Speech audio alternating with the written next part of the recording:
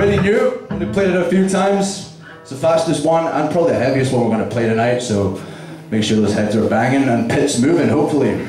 Come on, I know there are a couple of crazy couples out there. There's one, there's one, he's up for it.